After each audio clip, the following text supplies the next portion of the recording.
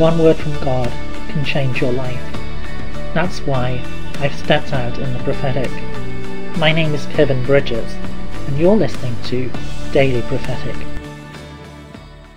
I see a beautiful white flower, a beautiful flower that is appearing in the midst of desolation, in the midst of where there was a fire.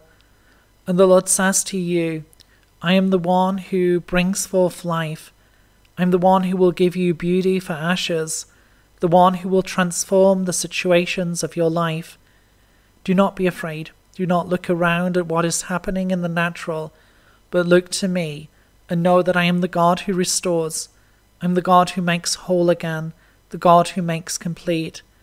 Put your hope and put your trust in me, for I will bring forth beauty for ashes. I will bring forth the power of my love in your life, bringing transformation, bringing freedom and wholeness. Would you like a personal prophetic word? Check out the website in the description below. Don't forget to subscribe to get your daily word of encouragement. And whilst you're here, why not have a look at some other of the videos that I've made? God bless you and have a really great day.